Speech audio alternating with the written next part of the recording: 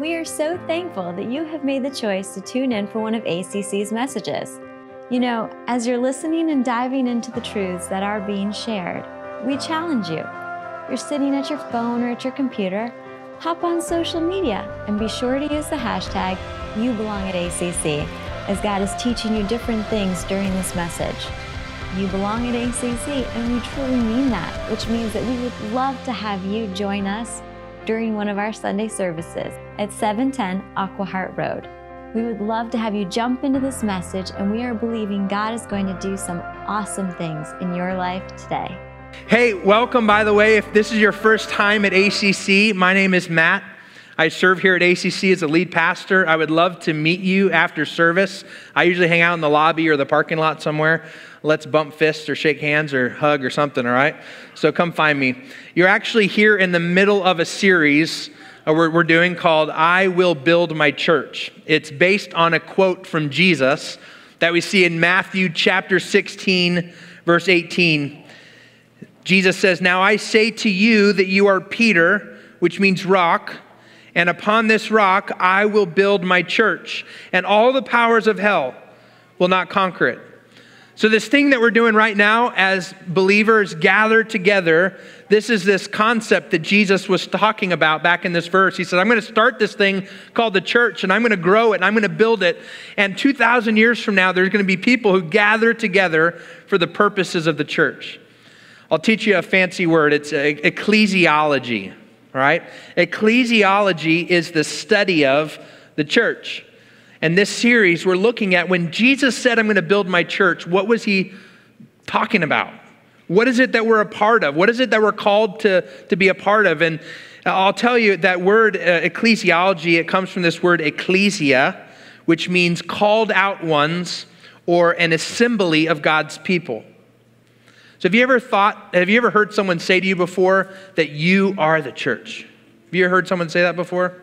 I want you to know that when you are by yourself, you are not the church. All right, someone lied to you. It takes you and another brother or sister in Christ to come in together. You get two or three gathered together. That's uh, you, you get a whole body gathered together, and we are the church. It's a gathering of believers and so we're exploring this concept together of what a church looks like. In the book of Ephesians, which, if you're not real familiar with God's word, you'll find that it's one of Paul's letters in the New Testament, so towards the last uh, quarter of your, your Bible. You're going to find three illustrations, three kind of uh, things that Paul is writing about when he's writing to the church in Ephesus. He's saying, listen, there's three things I want you to think about when you think of what a church is supposed to look like. The first thing we've already studied last week was a family. The church is supposed to look like a family. You probably remember this verse from last week, Ephesians 2:19. So now you Gentiles are no longer strangers and foreigners, you are citizens along with all of God's holy people. Here it is. You are members of God's family. So if you're a brother, if you're a follower of Christ in here, you are a brother or sister in Christ. We are family together. And the church is called to look like and operate like a family. If you missed last week's message, we got your back, right? Go on to YouTube or Facebook and watch that, and we'll, I'll tell you more about what that looks like. Another one of the symbols that we see in Scripture is a symbol of a building or a structure. Another illustration that Paul uses if you want to know what a church is supposed to look like, it's going to look a lot like a building or a uh, think about this for a moment. If you go out into a field and you see a brick sitting there right you don't look at it and think well i wonder what this building is. Right? No you just see a brick sitting there all by itself. It's just a brick. But when you take a bunch of bricks and you put them together with some sort of intentionality and purpose you're going to create a building. You're going to create a structure. And we actually see this if we keep reading in ephesians after 19 uh, 219 it says in verse 20 Together, there it is. This doesn't work if you're by yourself. Together, we are his house, built on the foundation of the apostles and the prophets. And the cornerstone is Christ Jesus himself. And we are carefully joined together in him, becoming a holy temple for the Lord. Through him, you Gentiles are also being made part of, the, of, his, of this dwelling where God lives by his Spirit. You've probably heard someone say before that the church is like the house of God, right? This is the house of God. Well, where does that come from? It comes from this verse right here. When when we as believers recognize that we are individual bricks, but that we're not meant to be scattered about, we're meant to be put together with intentionality and purpose, it says right there at the end that when we're all made part of this dwelling where God lives by his Spirit.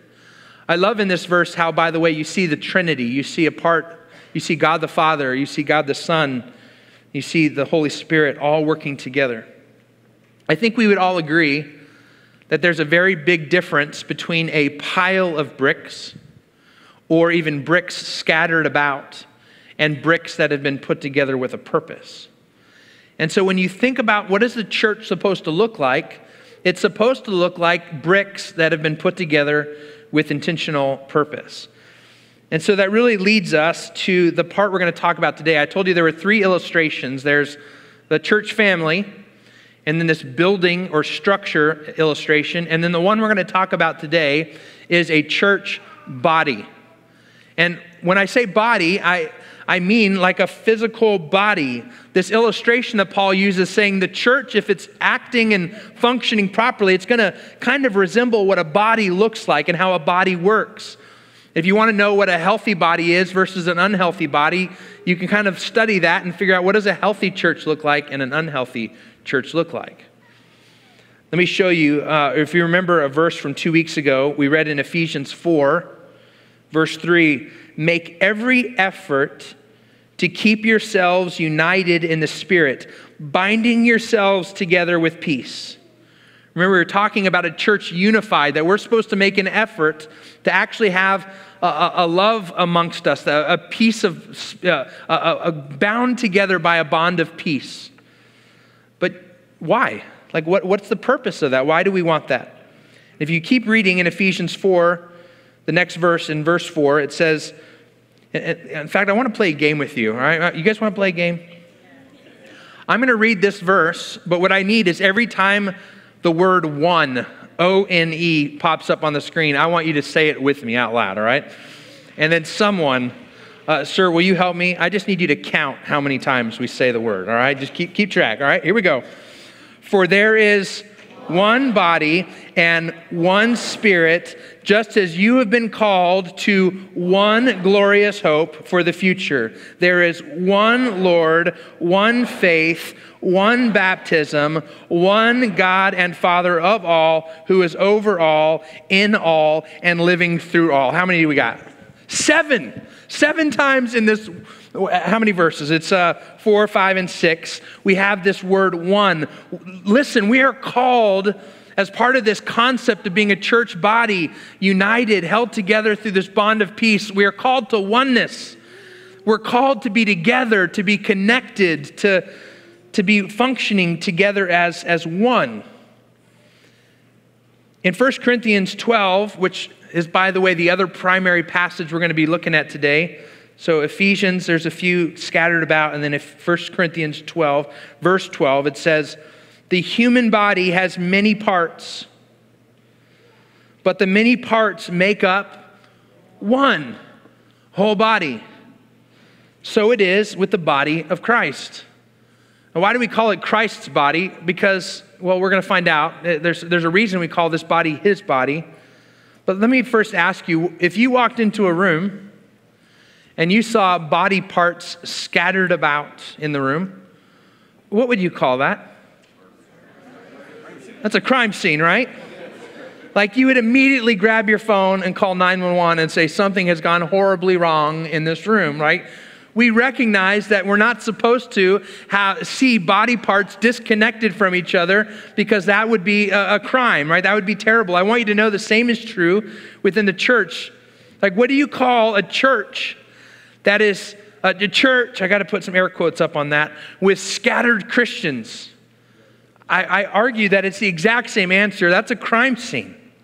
That's not the way the church was meant to was not designed to function. In fact, if you have scattered Christians here and there, that's not even a church.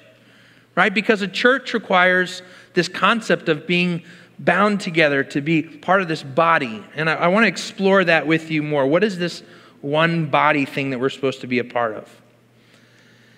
First Corinthians goes on and talks about how we've been each given different gifts from God, which is more evidence of his grace, that he's just given us things that we don't deserve. And he's given those things to accomplish this purpose that we have as a church, which is called the Great Commission. Let, let me uh, read this another passage for you out of Ephesians 4. If we keep reading, it says, This will continue. Let me, let me tell you what this is. What is this thing that will continue? The need for the church to be bound together the need for the church to be operating in oneness, the need for the church to fulfill this purpose of, of, of, the Great Commission of making disciples. All of this stuff is what Paul's talking about here. All of this will continue until, you ready for this? We all come to such unity in our faith and knowledge of God's Son that we will be mature in the Lord, measuring up to the full and complete standard of Christ. Let me give you the Matt International version of this verse. You ready? All right, this is a very loose paraphrase, all right? The need for the church to exist in oneness, to be operating as the body of Christ, doing the things that the church was designed to do, all of those things will continue and need to continue until pigs fly. I mean, you read a verse like this and it says, listen, until the church measures up to the full and complete standard of Christ, that's not going to happen on this side of heaven. As long as there's still uh, the natural world and God hasn't come and put an end to this and started something fresh, listen, all of us are going to be still working towards this goal, which means the need for the church isn't going away. It's not like, hey, if we could just accomplish the, you know, our church's vision, right, is to see people transformed and released by the love of Jesus. You know what I love about that vision? We're never going to fully get there. There's always someone else who needs to be transformed and released by the love of Jesus. Our church has a lot of work to do. And so all this kind of culminates. And we're talking about this body illustration in the book of Ephesians. In Ephesians chapter 4, if you have a copy of God's word, if you would open up and look at this for yourself, underline it, we're going to spend the rest of the morning talking about Ephesians 4, verses 15 and 16. And if you don't own a Bible, by the way, this is the best book you'll ever own. And so you own one, all right? Grab, grab one from underneath the chair in front of you, write your name in it, take it with you. We don't have like library alarm sounds that go off when you leave. Take it with you, okay? Ephesians 4, verses 15 and 16. This is a culmination of this body illustration. It says, Instead, we will speak the truth in love, growing in every way more and more like Christ, who, by the way, is the head of the body. Let's talk about that in a second.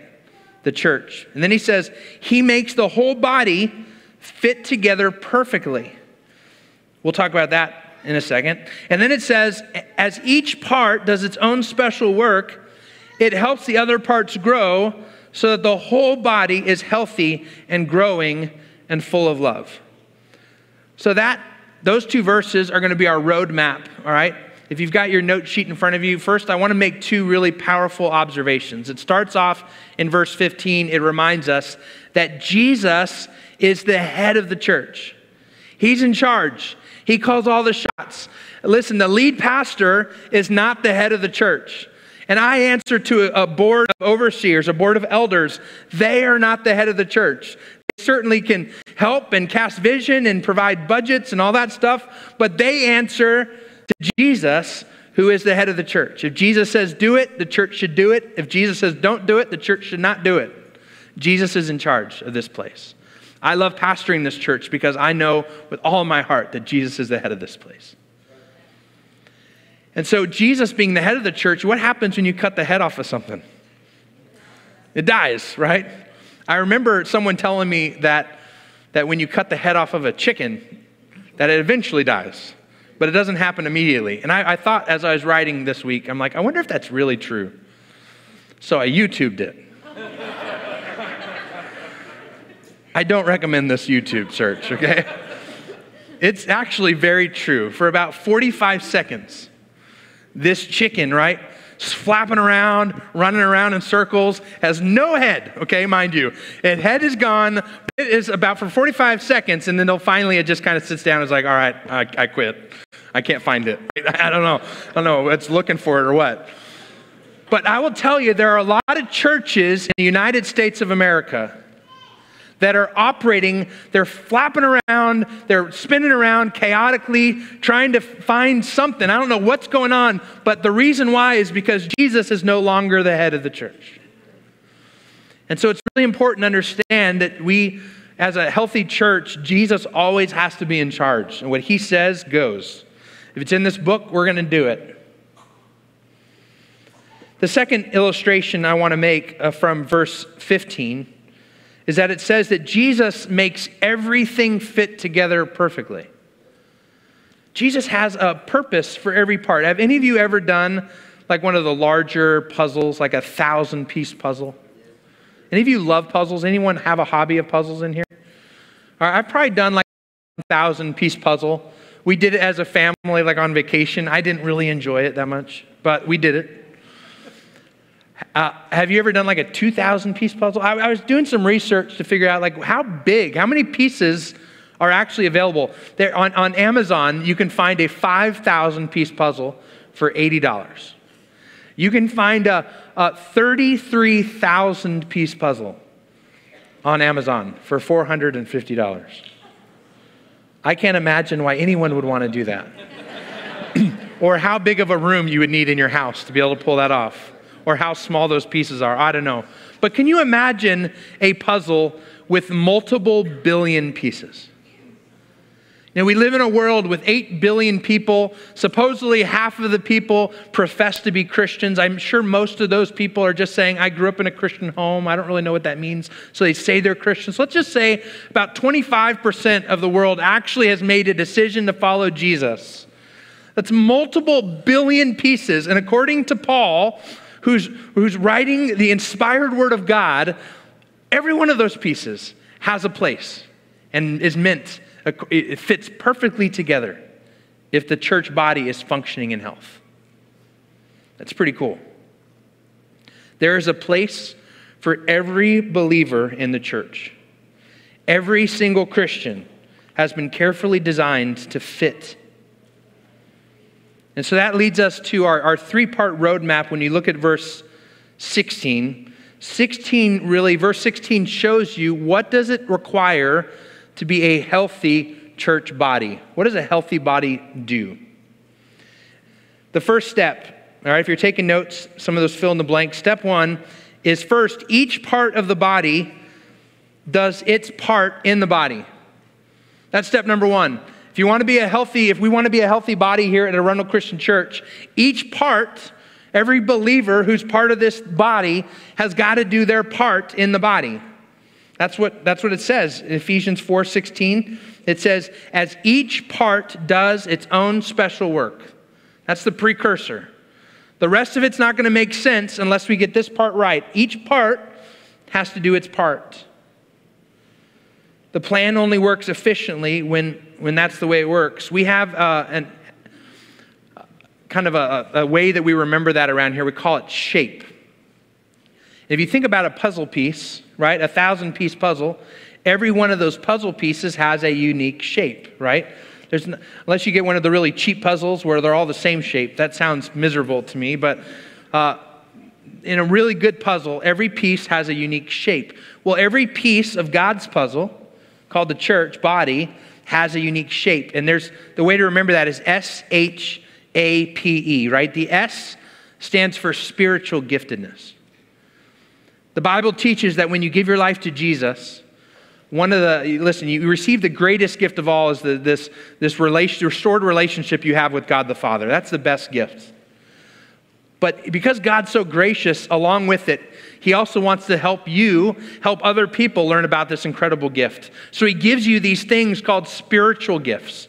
Some people he gives one, some people maybe he gives two or three, and there's certain seasons in life where he might actually give you one temporarily or give you one in abundance. And but these spiritual gifts are gifts that you receive through the Holy Spirit that God gives you. All right? We're going to talk more about those in a moment. The H in shape stands for heart. And the way to remember this is we're each passionate. Our heart kind of beats a little faster when we hear about certain topics, doesn't it?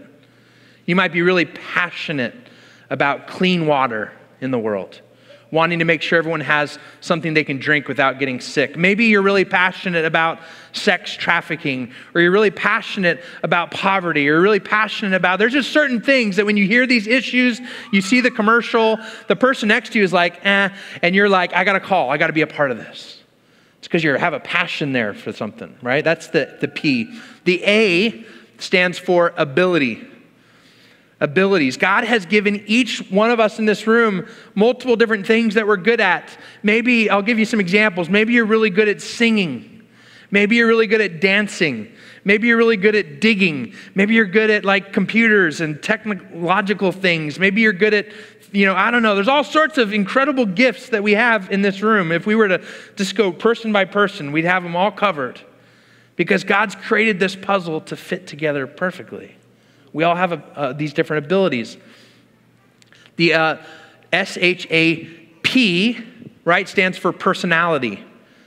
Each of us in this room, again, we have a slightly different personality than anyone else in this room. Some obvious examples, right? We have introverts in this room we have extroverts in this room. Well, guess what? God gave you that personality for a reason because He has roles within the church where He's like, I have some places where I need some introverts. I have some places where I need every time a car drives in this place, I need them waving and acting goofy. I need some extroverts. There's personalities that are different. And then the last one is E, which stands for experiences. And these aren't just the, the positive experiences, these, these are negative experiences, all of your experiences of life. Maybe you've experienced a divorce. Well, how can God use that experience to help you be a part of the body of Christ in encouraging other people who are going through the same thing? Maybe you've experienced the death of a loved one. Well, you know, there are other people in this building right now that are grieving. And your experience could be an encouragement to them. Maybe you have had a really great experience. Maybe you started a business from scratch and you know what it looks like to grow that thing. And, and, there's other people right now who are at an earlier stage in that process. And boy, could you be a huge help in the body of Christ. You see, S H A P E, all of us in this room, we are a uniquely uh, designed puzzle piece in this body of Christ that God is creating, and everyone has a part. Let me read a verse to you out of Romans. Romans 12, verses 3 through 5 says, Because of the privilege and authority that God has given me, this is Paul writing to the church in, in Rome, the churches in Rome. He says, I give each of you this warning. Don't think that you are better than you really are. Be honest in your evaluation of yourselves, measuring yourselves by the faith that God has given to us. Just as our bodies have many parts and each part has a special function, so it is with Christ's body. We are many parts of one body and we all belong to each other. You know, it would be weird if your foot to try, tried to do all the seeing for your body, right? It hasn't been equipped to do that. It's important for us to know what has, how has God shaped me uniquely? What are my gifts? What are the experiences? What, and we got to be honest with ourselves. I'll give you an example. As a pastor, right, there's a whole list of things that pastors are supposed to be pretty good at. Well, I can look at that list and say, I think I'm pretty good at some things. Like, I think I'm a pretty good communicator. But then I look at like shepherding and I realize that's one of my weaknesses. I'm not very good at, at coming alongside people as they're telling me about their feelings. I'm like, I'm more of a fact person, right? Just tell me what's real. Don't tell me how you feel. And so when I know that about myself, I got two options. I either got to surround myself with people who are really good at that kind of stuff, or I've got to, it's usually a both and, I got to learn to grow in that area. And so when we are honest with ourselves, we can say, well, what am I good at? What am I not good at? Where do I need to? And we all figure out that God's put us together for a reason because we help each other out. That's what a church body's supposed to do. And then it says there at the end of that verse that we all belong to each other. Have you ever seen that before? It actually says that when you become a follower of Christ, you belong, as part of the body, you belong to the other parts of the body. The other parts of the body own you, you belong to them, you're part of each other. What that means is that when we look at how God has shaped us, that He's given us these gifts not for ourselves, but for others. And I want to show you what that looks like in the next step of our Ephesians 4:16. So if we want to be a healthy church, step 1, remember each part of the body has to do its part in the body. So that leads to step 2. Each part of the body then helps the other body parts grow. If we look at that verse again, 416, it says, As each part does its own special work, the next part, here's what we're talking about now, it helps the other parts grow. How many of you have been on so many airplane flights that you don't even pay attention to the safety protocol speech at the beginning anymore, right? You know what they're going to say, you know how to put your seatbelt on, you know the mask stuff, and that there's exits, and that you're just, if there's a fire, you run, right? You know, like a, that's probably not what you're supposed to do, but one of the things they tell you during that, that little thing, right, is that if a mask comes down, it just basically means that the pressure inside the cabin has changed so much that the oxygen level is going to be off enough that you, you have, you're at risk of passing out unless you get this mask on your face. And so they tell you to make sure that you put your own mask on first before you put a mask on your children, your spouse, or anyone else that you love that's around you, right? Before you worry about the people around you, make sure you get your own mask on. Well, I don't know about you, but I think about that and I'm like, that sounds really selfish. Like, if someone's gonna die here, I want it to be me, not my kids. So I'm gonna put their mask on first. But here's the reason why they actually say that is what's, what you're at risk of happening is, is passing out. And then possibly after that, dying of not enough oxygen, right? So they say, listen, get your mask on so that you're conscious, so that you're awake, and then you can help the people around you. That's exactly this order of operations. God's word says if we're going to be a healthy body, first you need to use the gift that God has given you. And then when you use the gifts that God has given you, you're going to be in a place where you can then help other people grow. You got to start with making sure that you are awake and conscious so that you can help other people wake up and become conscious. 1 Corinthians 12, if we keep reading in verse 1 Corinthians 12, it says in verse 7 A spiritual gift is given to each of us so that we can make much of ourselves. Now, some of you are paying attention, right? That's not what it says. It says spiritual gifts have been given to us so that what? We can help each other. The reason that God has given you a unique shape is not so you can make much of your name, it's so you can make much of His name. It's so you can help other people around you, right? The two greatest commandments love God and love people. That's why God gave you these gifts. So you can love God with them and you can love other people with them.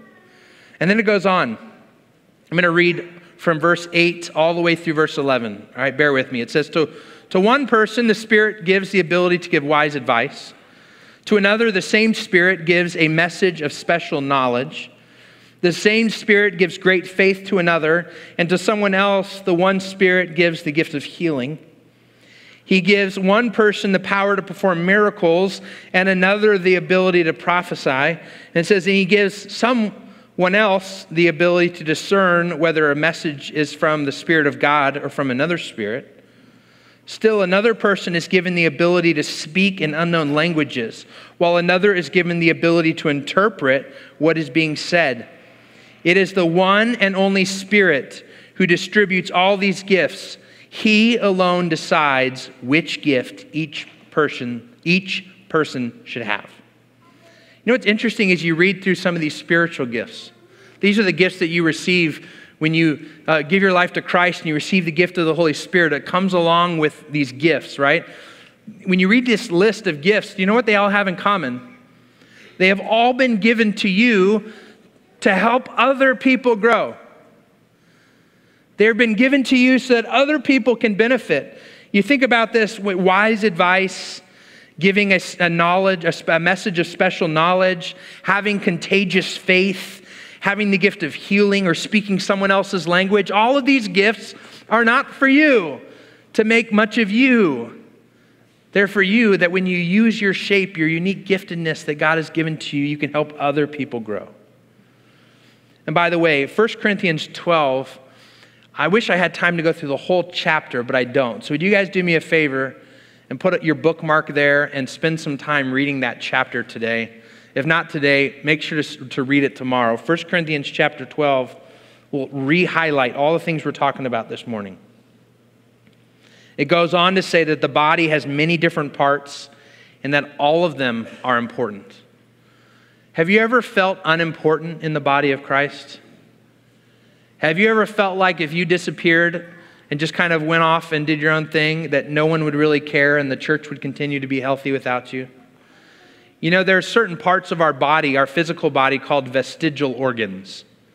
These are the organs that the, uh, I wrote it down so I would say it right, the name of this organization. Oh, medical journals. That's what I wrote down. Trust me, okay? so, medical journals have a list of 40 parts that at one point in the past were deemed useless. That they were called vestigial organs. And the, the way the medical science would try to explain it, they would lean into the whole concept of evolution and say, well, well, at some point your body needed this thing, but through the process of evolution, you now no longer need that. Uh, our water's clean now, and the air's clean now, and this, and whatever, whatever, and you don't longer need this thing anymore. Um, so go ahead and just cut it out if you want to. Well, believe it or not, as, as science improves and more and more things go into understanding the organs in our bodies, even the body parts that, yeah, you can technically go in and take your appendix out. That's one of the vestigial organs. You can cut it out.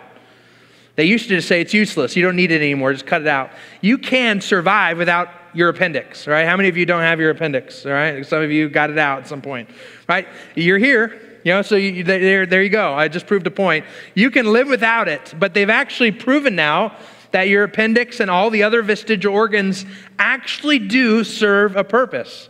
And when you take them out, your body will be a little bit less healthy, or you'll have to take some supplement or something else to make up for the fact that you don't have that organ anymore. I want you to know that some of you in this room, you might feel like a vestigial organ. But every single part of the body of Christ exists for a purpose. Every part fits perfectly together in the body of Christ. If we keep reading 1 Corinthians 15 or 12, verse 25 and 26, it says, This makes for harmony among the members, so that all the members care for each other. If one part suffers, all the parts suffer with it. And if one part is honored, all the parts are glad. Have you noticed that our body, our physical body, does a really good job? Uh, if, if, if, like, you sprain an ankle and your ankle swells up, you know what's really happening is your body says, okay, a part of our body is injured.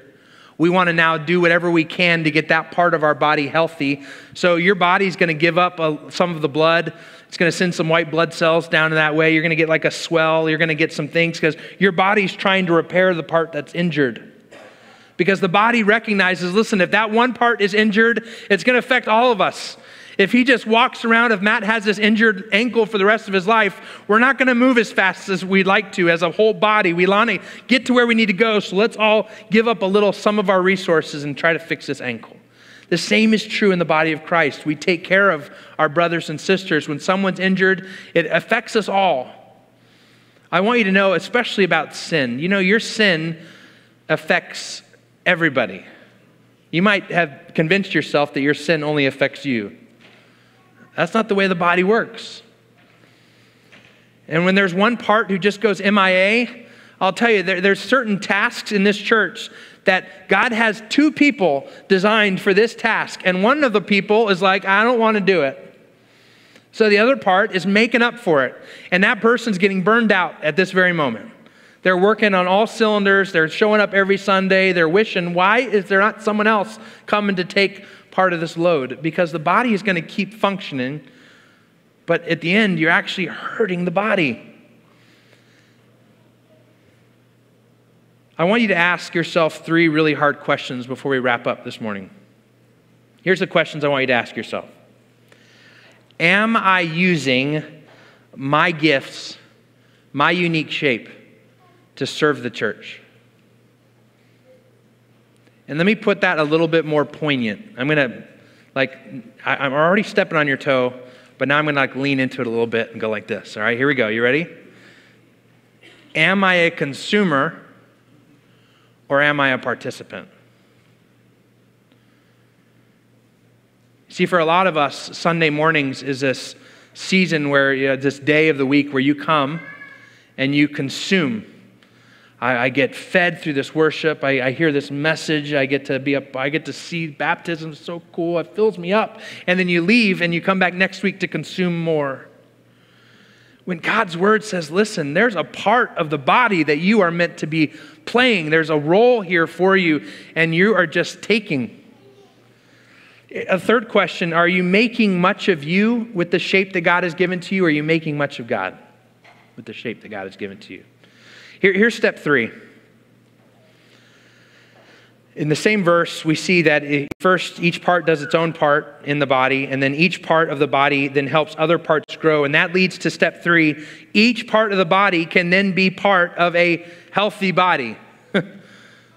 As each part does its own thing, and then they help other parts grow, then all those parts then get to be a part of a body that is healthy. Ephesians 4:16, the last part of that verse, it says, as each part does its own special work, that's step one. It helps the other parts grow, that's step two. So that, step three, the whole body is healthy and growing and full of love. Notice in this verse, it goes, it starts with me, like it starts with the individual, and then it goes to you. How can I help you? And then it ends with we. As I help myself use my gifts and then I help you learn how to grow in your gifts, then we as a whole body get to be healthy and full of love. You know, this church is, can only be as strong as its weakest link. You've probably heard that phrase before, right? You have a big long chain and you're trying to lift something, you're only going to be able to lift as much as the weakest link on that chain can handle. And so here's my favorite thing about Arundel Christian Church I love that this church, when I study what a healthy church body looks like, I could say with confidence, we are a healthy church body. I look at how ACC is known as healthy, we're growing, we're full of love. And all that I say, Amen, hallelujah. I'm so excited to pastor a church like that. But listen, we still have a lot of work to do. There are still a lot of consumers in this church. There are a lot of people who are, are coming in and taking, taking, taking when God's calling you to give and participate and be a part and connected to stop. I don't want to ever witness a crime scene in this church. I want to see a body functioning, working together, accomplishing the purpose that God has for us. So, as we always wrap up our messages here, we ask the question to God, What now, God? What do you want us to do with this? And I have a, a I don't know how often I'm allowed to play a pastor card, you know, like pull out my wallet and be like, all right, pastor, trump card, you got to do this. I said so, right? I don't, I know I don't really have that kind of authority in many of your, whatever. But listen, if I have anything, if I get to play a pastor card, here's where I'm going to play it right now. And it's this if you are just consuming, I need you to start serving. If you are just a consumer around here and this is your place, listen, if you're a visitor with us this morning, uh, we want you just to consume. We want you just to experience the love of Jesus this morning. If you're not yet a follower of Jesus and you're just curious about Jesus and you're exploring all this, listen, consume. We do all this. Uh, we want you to we want you to know about Jesus, all right? Just consume. But if you are a follower of Christ, brother or sister, you are part of the body. I need you to stop consuming and start participating. And maybe God will put on your heart what that, that is, how to do that. I listen, outside these doors, we have our next steps counter. You can say, listen, I, I, I want to serve. I don't know how. You can go on our website, arundelcc.org slash serve, and tell us you want to serve, and we'll get you plugged in. You know, there's a parable in Scripture about a master who gives different talents to his servants, and, and one of the, the servants buries that talent and doesn't use it. I encourage you to go read that parable, and you will learn that that's not a good thing to do. God has given you these things, He's entrusted you with these gifts so that you can use them and invest them to build His church. He's building His church and He's using us. Let's pray together. God, thank you so much for this day. Thank you for the opportunity we've had to open up your word and to study it and to look at what it says about a healthy church body. Help us all to be a part of what you're doing, God. We want to, to not be consumers, we want to be participants. As you're working to, to make disciples, God, you've given the, the church this great commission, which is to go out into all the world and make disciples. God, we, we know that that's a huge task, and it's going to take all of us to roll up our sleeves and dive in and be a part of what you're doing. So help us to do that. God, thank you. We pray this in Jesus' name. Amen. Well, we are so thankful for the truth that was shared in this message today. Please know that we, as a church, are praying that what you have learned today, the truths that God has put deep into your heart, will manifest themselves and grow themselves into something amazing. And as always, you can experience that with other believers, other people who are walking this walk of faith at ACC on Sunday mornings. Please remember this you belong at ACC.